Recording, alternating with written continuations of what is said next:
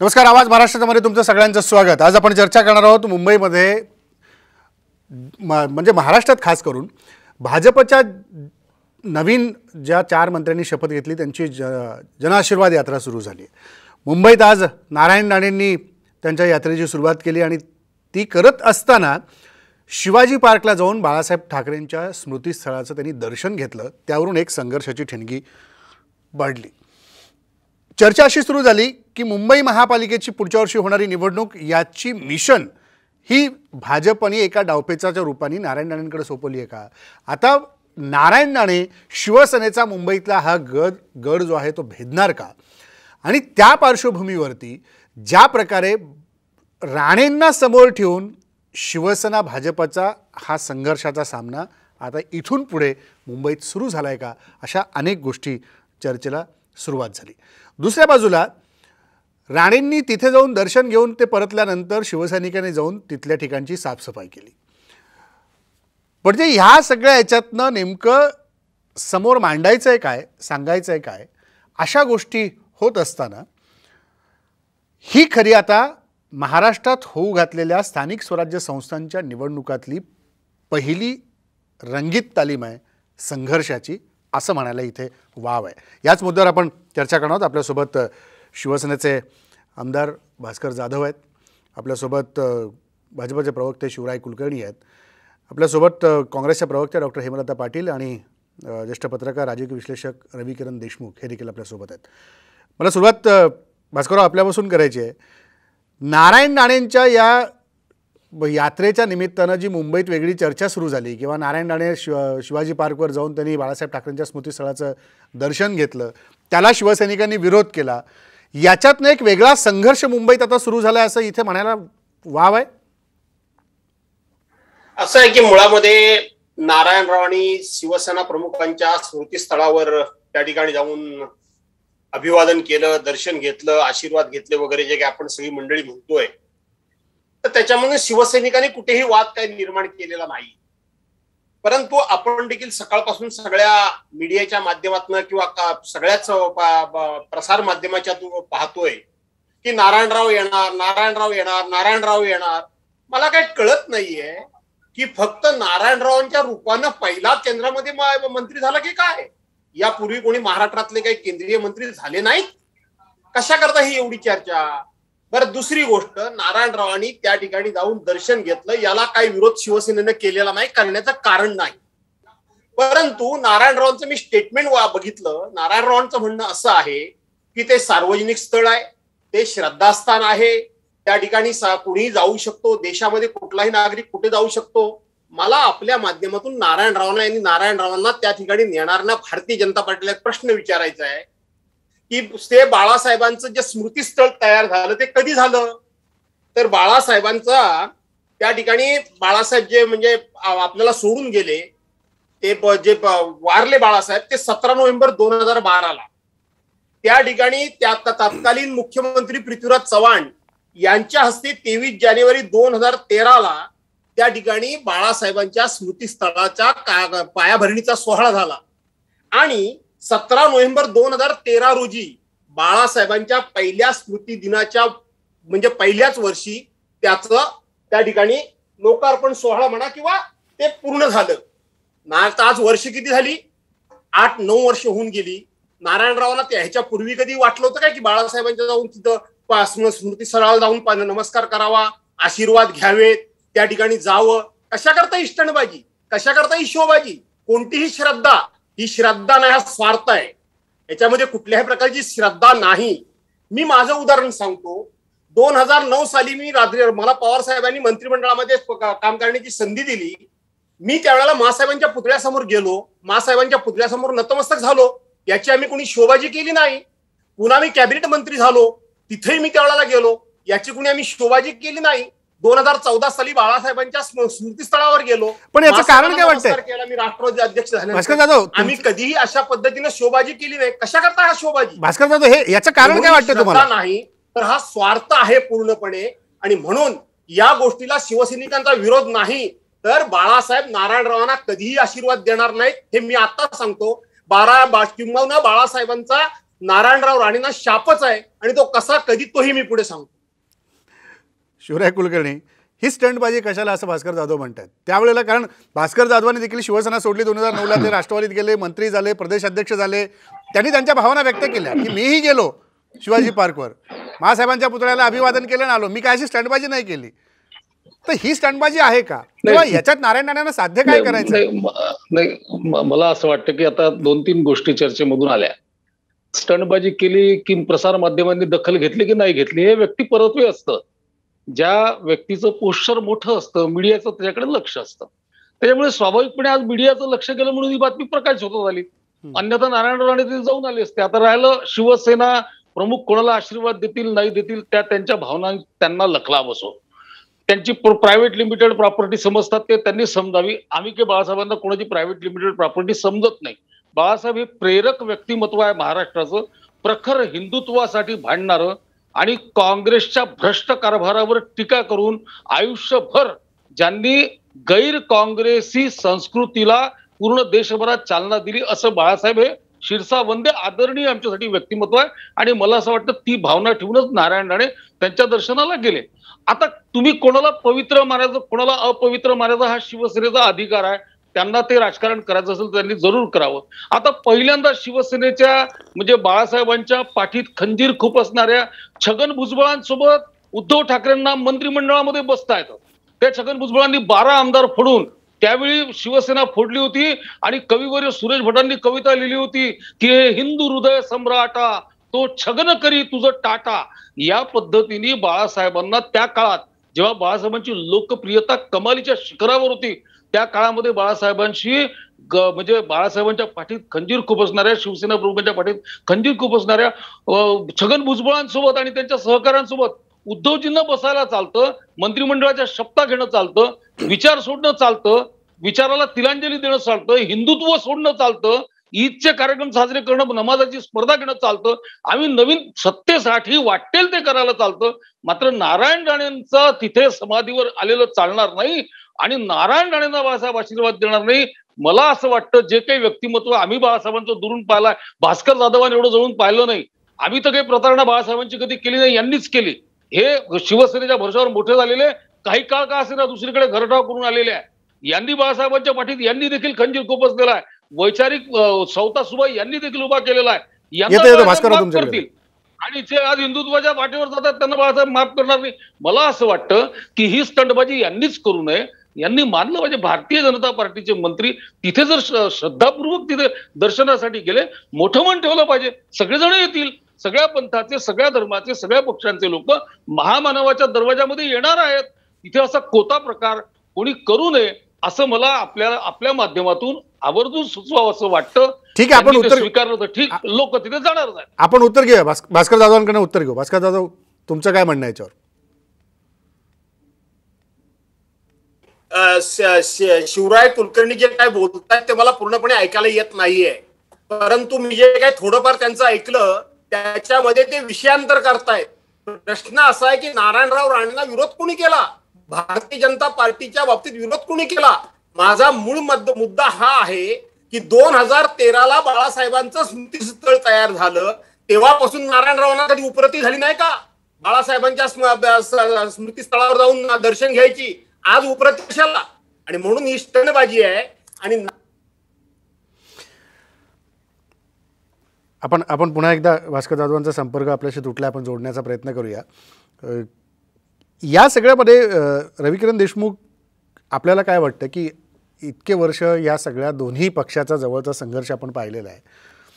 भाजप शिवसेनेमधला संघर्ष पाहिलेला आहे. सत्ता दोघांनी एकत्र कित अनेक वेळा सोबत केलेली आहे. आणि आत्ता नवी मुंबईच्या महापालिकेच्या निवडणुकीच्या तोंडावरती या प्रकारे नारायण राणेंकडे जर ही मिशन भाजपने सोपवली असेल तर हा संघर्ष अजून तीव्र होणार आहे ही त्याची सुरुवात आहे?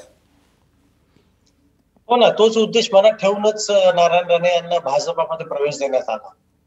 कारण शिवसेना आणि नारायण राणे यांच्यामधून विस्ता वाढवा जात नाही हे काय भाजपला माहीत नव्हतं अशातला भाग नाही. पण भाजपाने जाणीवपूर्वक निर्णय घेतला की कोकणामध्ये जर आपल्याला पाय रोवायचे असतील कारण त्यांना खूप मर्यादा होत्या. मागे तर आपण पाहिलं की पनवेलला प्रशांत ठाकूर जर सोडले तर संपूर्ण कोकण पट्ट्यात भाजपाचा आमदारच नव्हता. आणि राजकीय गरज होती त्यांची. आणि त्यांच्या लक्षात येत होतं की आता शिवसेनेसोबतचे आपले संबंध कमालीचे ताणले जात आहेत. तर त्यावेळेला आपल्याला जर कोकणामध्ये पायर व्हायचे असतील तर काय केलं पाहिजे? त्यांनी जेव्हा नारायण राणे यांना भाजपाच्या सोबत भाजपाच्या नेतृत्वाने सोबत घेण्याचा निर्णय ज्या दिवशी घेतला त्या दिवशी त्यांना हे ठाऊक होतं की नारायण राणे आणि शिवसेना यांच्यामधून बिस्त वाढवा जात नसल्यामुळे राणे यांना सोबत घेतल्याबरोबर शिवसेना आता आपल्यापासून दूर जाणार. हे राजकारण ज्याला थोडंफार कळतं किंवा जे राजकीय क्षेत्रात कार्यरत आहेत त्यांना चटकन लक्षात येईल. त्यानंतर त्यांनी जाणीवपूर्वक आता काय निर्णय घेतला? की कोकणामधून मंत्रिमंडळात स्थान द्यायचं. त्यांना केंद्रीय मंत्री करायचं शिवाय मुंबई महानगरपालिका. आता लवकरच येऊ घातली निवडणूक त्यांना त्याची जबाबदारी द्यायची. म्हणजेच इथं त्यांनी आपली भूमिका अतिशय स्पष्ट केली की आम्ही लढणार नारायण राणे यांना फ्रंटला ठेवून समोर ठेवून लढणार. आणि नारायण राणे शिवसेनेबद्दल काय बोलतात कसं बोलतात शिवसेनेबरोबरचा त्यांचा संघर्ष हा गेली सतरा अठरा वर्ष कसा चालू आहे जेव्हापासून त्यांनी शिवसेना सोडली तेव्हापासून. हे माहीत आहे त्यामुळं हा अतिशय कॅल्क्युलेटेड डिसिजन आहे हा. जोखीम पत्करून घेतलेला एक निर्णय आहे राजकीय निर्णय आहे. आणि मुंबई महानगरपालिकेसाठीच हे चालू आहे. आज हे त्यांच्या बोलण्यातनं स्पष्ट झालं. नारायण राणे म्हणाले की बत्तीस वर्षाची राजवट आता उलथवून टाकायची आहे आणि आम्ही त्यांना खेचल्याशिवाय राहणार नाही. त्यांना सत्ता खेचून घेतल्याशिवाय राहणार नाही. म्हणजे इथं उद्देश पूर्णपणे स्पष्ट झालेला आहे. की नारायण राणे यांना पुढे करून भाजपा मुंबई महानगरपालिकेवर चढाई करायला तयार झालेला बरोबर आहे की ह्याच्या निमित्तानं आता ह्याच गोष्टी सगळ्या पुढे अजून रंगताना पाहायला मिळतील. हेमलता पाटील काँग्रेस पक्ष या सगळ्या घडामोडीकडे कसं पाहतोय? कारण काँग्रेसला देखील या निवडणुकीमध्ये सहभाग घ्यावाच लागेल कारण महाविकास आघाडी म्हणून तुम्ही आता सत्तेत एकत्र आहात. आणि ज्या प्रकारे आता सत्तेतला हा मुंबई महापालिकेतला संघर्ष भाजप आणि शिवसेनेतला अगदी असा काठावरचा आहे. तो कधी इकडचा तिकडे तिकडचं इकडे सत्तेतला अंतर होऊ शकतं. तर काँग्रेसची याच्यातली भूमिका काय? या जनाशीर्वाद यात्रेकडे काँग्रेस बघतीये कशा पद्धतीने आणि सत्तेत राहून काँग्रेस या सगळ्या गोष्टी ऐकतीये कशा पद्धतीने? खरं तर जन आशीर्वाद यात्रेपेक्षा जन आक्रोश यात्रा म्हणणं जास्त योग्य ठरलं असतं. कारण भारतीय जनता पक्षाची प्रत्येक मूव ही फक्त इलेक्शन डोळ्यासमोर ठेवूनच असते. त्यामुळे हे आशीर्वाद कशासाठी घेत आहेत हा सगळ्यात महत्त्वाचा प्रश्न आहे. मुंबईपुरतं जर बोलायचं झालं ना आता आपण नारायण राणेंच्या विषयापुरतं आपण मर्यादित बोलतोय. तर सगळ्यात महत्वाचं म्हणजे मुंबईमध्ये भारतीय जनता पक्षाची स्वतःची मतं आहेत शिवसेनेची स्वतःची मतं आहेत काँग्रेस राष्ट्रवादीची स्वतःची मतं आहेत. मी एक अनुभव सांग बोला बोला. मी फक्त एक अनुभव तुम्हाला सांगते की जेव्हा नारायण जेव्हा नारायण राणे पहिल्यांदा काँग्रेसमध्ये आले तेव्हा त्यांनी काँग्रेसला हीच अट घातली होती की मी मुंबई महानगरपालिकेमध्ये काँग्रेसच्या जास्तीत जास्त जागा निवडून आणून देईन. आणि त्यासाठी मी सांगेल त्या व्यक्तीलाच तुम्ही तिकट दिलं पाहिजे. आणि त्यानंतर आपण बघितलं की काँग्रेसला हा ग- गड भेदणं अशक्य झालं होतं. म्हणजे फक्त नारायण राणेंच्या जीवावरती कुठली महानगरपालिका भारतीय जनता पक्षाच्या ताब्यात येईल असा जर कोणाला कोणाचं मत असेल तर ते अतिशय चुकीचं आहे. नारायण राणेंचा प्रवेश भाजपमध्ये फक्त एका मर्यादित गोष्टीसाठी झालाय की जितकं जास्त तुम्ही शिवसेनेला डॅ- डॅमेज कराल जितकं जास्त महाविकास आघाडीला डॅमेज कराल तोंडाने बोलून त्याच्यासाठी नारायण राणेंचा प्रवेश झालाय हे नक्की आहे. त्यामुळं मला असं वाटत नाही की भारतीय जनता पक्ष मुंबई महानगरपालिका पूर्णपणे नारायण राणेंच्या ताब्यात देण्याची एवढी मोठी चूक करेल. कारण ही जर त्यांनी मोठी चूक केली तर त्याची खूप मोठी किंमतही त्यांना या ठिकाणी मोजावी लागेल. राहिला प्रश्न बाळासाहेबांच्या समाधीवर जायचा. हा पूर्णपणे भास्कर जाधव म्हटले त्याप्रमाणे पूर्णपणे स्टंट आहे. आजपर्यंत इतक्या दिवसांमध्ये बाळासाहेबांबद्दल प्रेमाने बोलणं असेल किंवा शिवसेनेबद्दल प्रोमा- प्रेमाने बोलणं असेल हे नारायण राणेंना जमले नाही. आणि आज आता वेळ आल्यानंतर कुठेतरी त्यांना बाळासाहेबांच्या स्म- स्मृती स्थानकाची आठवण झाली. म्हणजे हे सगळं फक्त निवडणुका डोळ्यासमोर ठेवून आहे. आणि आता भाजपचे प्रवक्ते म्हणणे की बाळासाहेबांना काँग्रेसचा अतिशय द्वेष होता. हे अतिशय चुकीची माहिती आहे. जेव्हा महाराष्ट्रातनं एक कन्या राष्ट्रपती होते असं म्हटल्यानंतर प्रतिभाताईंना सर्वात पहिल्यांदा कुठलीही अट न घालता समर्थन देणारे हे बाळासाहेब होते. त्यामुळं त्यांना इतिहास थोडासा शिवराय कुलकर्णींचा खूप वीक आहे किंवा सोयीचा इतिहास ते लक्षात घेतात.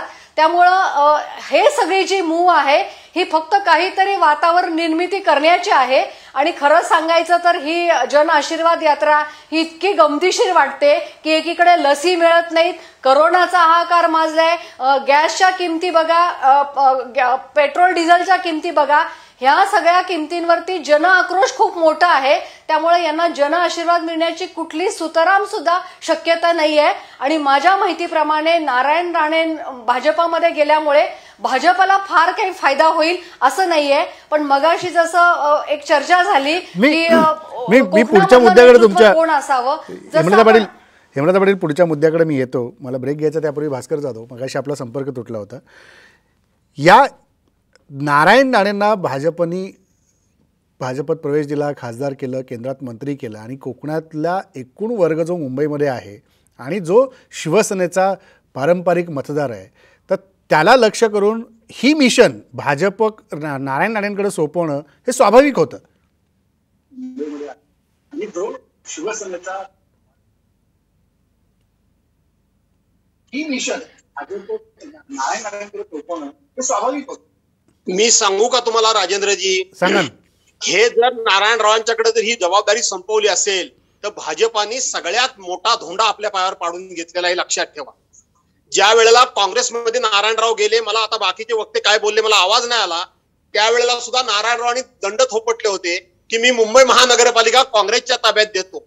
आणि मी सांगेन त्यांना तिकीट द्या पंचावन्न लोकांना तिकीट नारायणरावांनी घेऊन दिली होती पंचावन्न लोकांना. शिवसेनेच्या अनेक लोकांना फोडली. फक्त तीन लोक निवडून आली. फक्त तीन. नारायणरावांची. नारायणरावांनी स्वतः पक्ष काढला. एकही निवडणूक ते लढवू शकले नाहीत. मनोहर नामदार मनोहर जोशींना बदलून नारायणरावांना मुख्यमंत्री केलं शिवसेना हम्म. प्रमुखांनी. तेव्हा नारायणरावांची भाषणं काढून बघा. की तुम्हाला का नेमलं? तर पुन्हा महाराष्ट्रामध्ये मला सत्ता आणायची म्हणून मला पुन्हा मुख्यमंत्री केलं असं नारायणराव नसलेली छाती फुगवून बोलत होते. शिवसेना भाजपाचं सरकार गेलं. नंतर नारायणराव काँग्रेसमध्ये मुख्यमंत्री व्हायला गेले. काँग्रेसमध्ये गेले काँग्रेसचं सरकार गेलं. गेल्या निवडणुकीच्या पूर्वी नारायणराव भाजपामध्ये गेले. भाजपाचं असलेलं सरकार गेलं. आता नारायणराव केंद्रात गेलेत. मी लिहून देतो तुम्हाला दोन हजार चोवीस साली केंद्रातलं भारतीय जनता पार्टीचं सरकार राहणार नाही. एक दुसरी गोष्ट मुंबई महानगरपालिका कोणाला द्यायची कोणाला नाही द्यायची ते मुंबईतला हा मतदार ठरविल. नारायणराव स्वतः मुंबईतून निवडून येऊ येऊ शकले नाही बांद्र्यामधून. लक्षात ठेवा. स्वतः पुन्हा काँग्रेस सोडल्यानंतर पुन्हा निवडून येऊ शकले नाहीत. त्या नारायणरावांना फक्त आणि फक्त तुम्ही लोकांनी मोठं करून ठेवलंय तुम्ही लोकांनी मीडियाच्या लोकांनी न पेक्षा आम्ही आम्ही ऐका ऐका. भास्कर जाधव भास्कर जाधव जसे जसे नारायण ऐका ना. भास्कर शेठ ऐका ऐका. नारायण राणेंना जर मीडिया मोठं करत असेल तर नारायण नारायण राणेंच्या बरोबर कोकणातल्या भास्कर जाधवांना देखील मीडिया मोठं करते. त्यामुळे मीडियासाठी भास्कर जाधवही तेवढेच आहेत आणि नारायण राणे पण तेवढेच आहेत. त्यामुळे मोठा छोटा कोण नाहीये? धन्यवाद धन्यवाद. परंतु आजची आजची आहे ती जन आशीर्वाद यात्रा आहे. तिथं नारायणरावांनी शिव्या द्यायचं काय कारण? भारतीय जनता पार्टीने त्यांना कार्यक्रम काय दिलाय? की भारतीय जनता पार्टीनं केंद्रामध्ये केलेल्या कामांची माहिती जनतेला द्या. अशा प्रकारचा त्यांना कार्यक्रम घेऊन केंद्रामध्ये पाठवलंय. ते लागलेत शिवसेनेला शिव्या द्यायला. ते लागलेत ह्या स्थळाला त्या स्थळाला भेटी द्यायला. अहो नारायणराव तुम्हाला फक्त यातूनच टिकायचं आहे नारायणरावांचा कोकणात सुद्धा करिश्मा झिरो आहे. नारायणराव काँग्रेसमध्ये गेले. काँग्रेसचा एकही जिल्हा परिषद सदस्य रत्नागिरीमध्ये नाही. सिंगल होती काँग्रेस ती पण संपली नारायणरावांच्यामुळं. त्यामुळे नारायणरावांमुळे भाजप वाढेल. हे सगळं विसरून जा. स्वतःचा मुलगा निवडून आला त्याच्यापेक्षा भाजपचा कोणाला निवडून कोकणामध्ये? कोणीही आलेला नाही.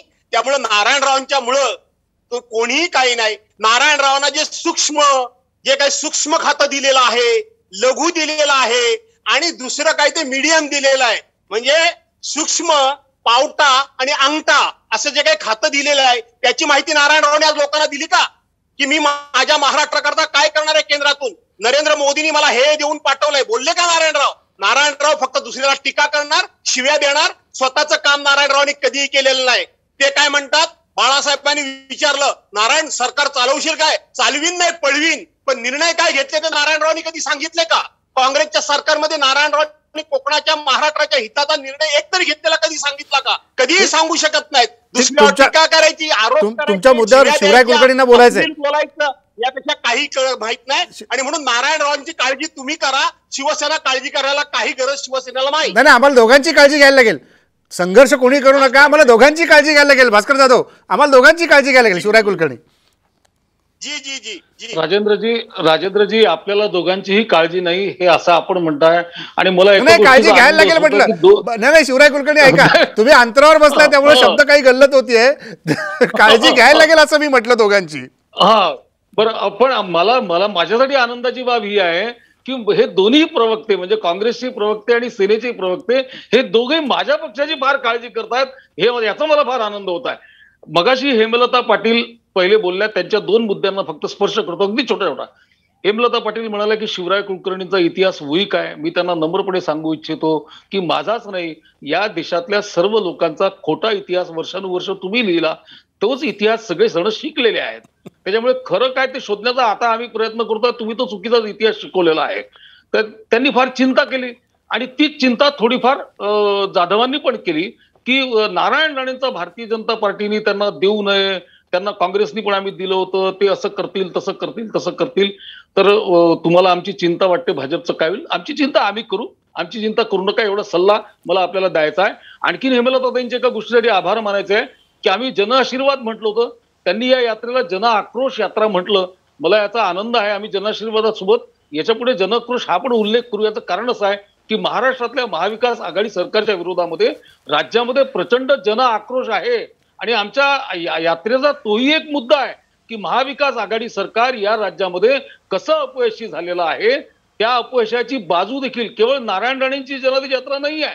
या या जन आशीर्वाद यात्रेमध्ये जेवढे काही मंत्री यावेळी मंत्रिमंडळात घेतले गेले आहे साधारणतः वीस हजार किलोमीटर देशामध्ये मंत्री प्रवास करणार आहेत. महाराष्ट्रातले चारही मंत्री आपल्या आपल्या भागामध्ये भारतीय जनता पार्टीच्या केंद्राची कामगिरी घेऊन महाविकास आघाडीचं अपयश घेऊन जाणार आहे.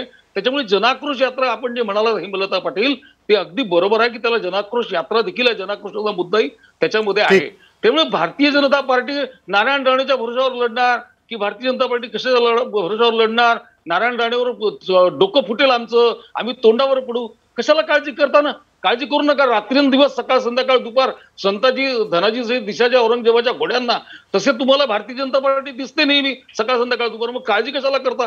जे काय व्हायचं आहे ते आम्ही करू. आमच्या. पक्षाचं. अगदी थोडक्यात हेमलता पाटील मला ब्रेक. घ्यायचा. तुम्ही मी येतो. शिवराय कुलकर्णी मी येतो.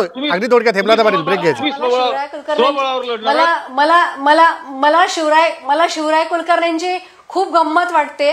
मी नाशिकमध्ये सुद्धा एक दृश्य बघते.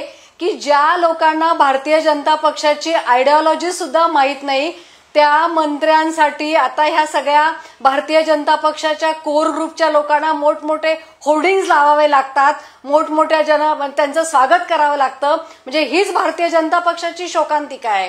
म्हणजे खरं सांगायचं तर सगळ्या आयात उमेदवारांच्या जीवावरती आणि आपल्या पक्षाला फक्त कायम निवडणुकीच्या रिंगणामध्ये ठेवण्याची स्ट्रॅटेजी आखण्याच्या निमित्ताने आपण आपल्या पक्षाशी काय करतोय हे सुद्धा भारतीय जनता पक्षाला माहीत नाही. आणि मला खूप गंमत वाटली मला आनंद झाला की शिवराय कुलकर्णींवरती सुद्धा ही वेळ आणली वेळ आली आहे की सगळ्या आयात उमेदवारांचं स्वागत करायचं त्यांच्या माध्यमातून महाविकास आघाडीवरती टीका करायची.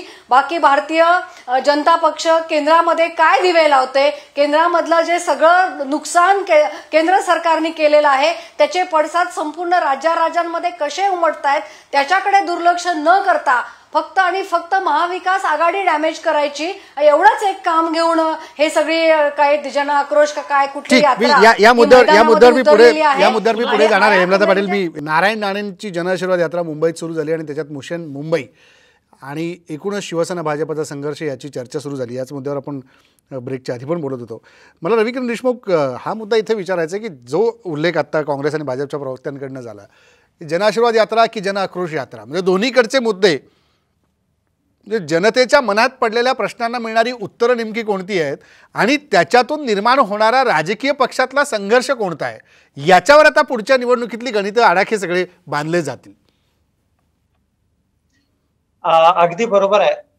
जन आक्रोश काय जन आशीर्वाद काय ह्या यात्रा ह्या लोकांचं लक्ष वेधून घेण्यासाठी असतं. कुठलीही यात्रा असो जनादेश यात्रा असो आणखी कुठली यात्रा असो लोक आपापला संघर्ष रोज करत असतात. प्रत्येकाला प्रत्येकाचे प्रश्न पडलेले आहेत. त्याची उत्तरं शोधता शोधता सामान्य माणूस आपापलं जीवन पुढे कंटत असतो. आकर्षण लोकांना वाटावं लोकांमध्ये चर्चा निर्माण व्हावी ह्यासाठी अशा यात्रा असतात. मग ती काँग्रेस काढो. राष्ट्रवादी का- राष्ट्रवादी फारशा यात्रेच्या भानगडीत पडत नाही पण त्यांचं वेगळं असतं. मागे लोकसभेच्या वेळेला अमोल कोल्हेंची एक यात्रा होती. त्याच्यानंतर काही फारशा यात्रा अलीकडच्या काळात आपण पाहिलं नाही.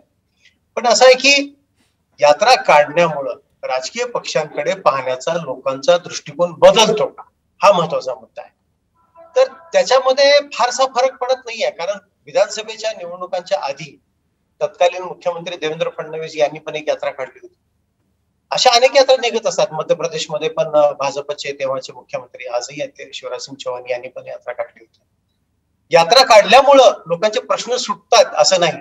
पण राजकीय कुरघोडीचं एक चांगलं निमित्त त्यामुळे त्यामुळे मिळतं.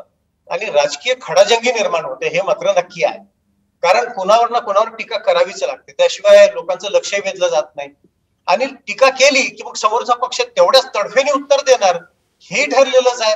त्यामुळं आगामी काळामध्ये जोपर्यंत राणे यात्रा काढत राहतील पुढचे सहा दिवस तोपर्यंत रोज काही ना काही खडाजंगी होत राहील. त्या निमित्ताने फक्त लोकांमध्ये चर्चा होत राहील. बाकी प्रश्न पंधरा वर्षापूर्वी जिथं होते थोड्याफार फरकाने ते पुढे सरकलेले आहेत. त्यातले काही सुटता सुटता थांबलेले आहेत काही थोडेफार सुटत आहेत. ते चालूच राहील. हा फक्त राजकीय हा एक उद्देश असतो. हा मला या निमित्ताने सांगायचं बिलकुल एक राजकीय उद्देश त्याच्यामध्ये दिसतो निश्चितपणे की भास्कर जाधव याच राजकीय उद्देशावरती आता एकीकडे केंद्र सरकार एकीकडे राज्य सरकार. हा एक वेगळा संघर्ष पुन्हा राज्यात सुरूच आहे. त्याच्यावरून पुन्हा वेगवेगळे आरोप प्रत्यारोप होतातच आहेत. पण जसं आत्ता रविकिरण देशमुख म्हणाले की जनसामान्यांचे प्रश्न हे तिथंच आहेत. मग ते पंधरा वर्षापूर्वीचे बघू द्या. काही त्याच्यातले सुटलेले असू द्या किंवा काही सुटणारे असू द्या. प्रश्न मात्र अजून काही मार्गी लागलेले नाही आहेत. त्यामुळं उद्या सत्तेत हे आहेत का ते आहेत हा नंतरचा भाग आहे. जेव्हा जनता ठरवेल त्यांच्या आक्रोशामधून तेव्हा त्या गोष्टी ठरणार आहेत.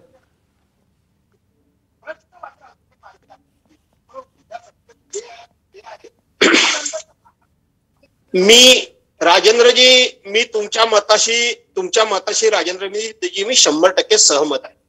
मुळामध्ये भारतीय जनता पार्टीनं जे काही वीस हजार किलोमीटरची यात्रा करण्याकरता केंद्रातल्या मंत्र्यांना पाठवलं ते मुळात ह्याच्याकरताच पाठवलं की केंद्र सरकारनं गेल्या सात वर्षामध्ये लोकहिताचे जनहिताचे काय निर्णय घेतले ते लोकांपर्यंत जावेत हा त्यातला मूळ हेतू असावा असं मला वाटतं.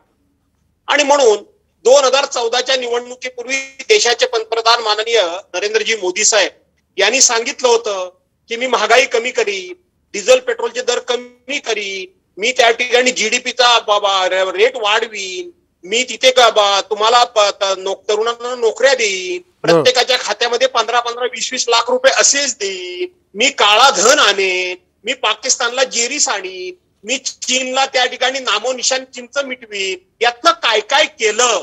कोरोनाच्या कालावधीमध्ये किती जणांचा रोजगार बुडाला नोटाबंदीमध्ये किती लोकांना रोजगार बुडाला की मिळाला ही माहिती खरी मंत्र्यांनी देणं अपेक्षित आहे राजेंद्रजी. आणि त्याचबरोबर जे कोणी सरकार असेल त्या सरकारवर टीका थोडीफार करणं अपेक्षित आहे. मी नाकारत नाही.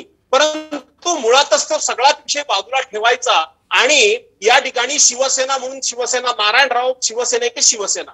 मला मगाशी आमचे मित्र शिवराय कुलकर्णी जे बोलले त्याचं मला एक परवानगी द्या कारण मला काही आवाज येत नव्हता. ते मला म्हणाले की तुम्ही पण पाठीत खंजीर खुपसलात ह्या भारतीय जनता पार्टीच्या लोकांची सवय हीच आहे आपलं ठेवायचं झाकून. खरं सांगायला गेलं तर. नारायणरावनी काय केलं? नारायणरावनी शिवसेना प्रमुखांना विश्वासघात करून कोणतं असं पुण्यकर्म केलं? शिवराय कुलकर्णी मला काय सांगतील? दुसरी गोष्ट नेहमी म्हणतात की उद्धव ठाकरेंनी आमच्या पाठीत खंजीर खुपसला आणि हिंदुत्व सोडलं हिंदुत्व. तुम्ही मुक्ती मोहिबाबरोबर गेला होता हिंदुत्व होतं. तुम्ही नितीश कुमारांबरोबर हिंदुत्व त्यांनी घेतलंय. तुम्ही रामदास आठवलेंबरोबर हिंदुत्व त्यांनी घेतलंय. तुम्ही ममता सई समता जयललिता जॉर्ज फर्नांडिस यांच्याबरोबर गेलात तुम्ही. तुमचं काय त्यांनी हिंदुत्व कधी घेतलंय का? तुम्ही नेहमी खोटं बोलायचं आणि त्याचबरोबर उद्धव ठाकरेंनी खंजीर खुपसला. त्याच्याऐवजी देवेंद्र फडणवीसनी सकाळी पाच वाजता राष्ट्रवादीवर सरकार पहिल्यांदा केलं. मार्ग देवेंद्र फडणवीसनी दाखवला. आणि म्हणून जो खड्डा तुम्ही दुसऱ्याला खणलात त्या खड्ड्यात तुम्ही पडताय पण सातत्यानं खोटच बोलायचं वरपासून खालपर्यंत खोटच बोलायचं ही जी तुमची पद्धत आहे ना ही शंभर टक्के चुकीची तीस सेकंड शेवटचे माझा वेळ संपला मी वाढवला तरी तीस. सेकंड माझा वेळ वाढवला तीस 41 सेकंड. पटकन शिवराय कुलकर्णी 41 मंत्र्यांचा रिपोर्ट कार्ड आलेला आहे सगळे मंत्री फेल्युअर झाले ठीक आहे, भास्कर दादा, ठीक आहे. शिवराय कुलकर्णी, 30 सेकंड. मंत्री आता काय करतील ते आपण भास्कर-. तीस भास्करराव जाधवांचा. तळतळाट भास्करराव जाधवांचा तळतळाट मी समजू शकतो. ज्या मोदीजींच्या नावाने भास्करराव जाधव आता शिमगा करतायत त्याच मोदीजींच्या नावावर याच उद्धव ठाकरेंनी आणि याच शिवसेनेनी दोन हजार एकोणीसमध्ये मतं मागितलेले आहे आज जे सत्तेत महाविकास आघाडीमध्ये मुख्यमंत्री बनून बसलेले आहे त्याही मुख्यमंत्री पदासाठी मतं मागताना मोदीजींचा फोटो आणि फडणवीसांचा फोटो वापर करून यांनी मतं मागितलेले आहेत. त्याच्यामुळे याच पंतप्रधानांच्या भरोशावर ही पुंजी शिवसेनेने कमवलेली आहे. हे त्यांनी विसरता कामा नये. आणि मोदीजींच्या मोदीजींच्या संदर्भात यादी वाचताना तुम्हालाही उत्तर द्यावे लागणार आहेत की तुम्ही नुकसान भरपाई नुकसान भरपाई पन्नास हजार रुपये देणार होतात शेतकऱ्यांना बांधावरच्या शेतकऱ्यांना. काय झालं? तुम्ही कर्जमाफी देणार होतात काय झालं? कोणत्या घोषणेचं काय झालं? महाविकास आघाडीमध्ये महाविकास आघाडीमध्ये फक्त वाजे फक्त ठिकठिकाणचे ठीक वाजे आहे. हा हा हा संघर्ष राजकीय संघर्ष काही संपणारा नाहीये. ही चर्चा परत आपण कधीतरी करू. भास्कर जाधव शिवराय कुलकर्णी हेमलता पाटील ही चर्चा आपण पुन्हा एकदा कधीतरी करू कारण आता ही संघर्षाची किनार सुरू झालेली आहे. लाटा उसळत राहतील भरती येत राहील ओहोटी होत राहील त्यामुळे या चर्चेचे सगळे प्रसंग आणि लहरी तशाच पुढे चालू राहतील. रविकिरण देशमुख धन्यवाद. भास्कर जाधव शिवराय कुलकर्णी आणि हेमलता पाटील आपण चर्चेत सहभागी झालात. पुढे अजून परत कधीतरी अशाच राजकीय विषयावरच्या चर्चेला आपण भेटत राहू आणि ही चर्चा करत राहू. इथेच थांबू. नमस्कार.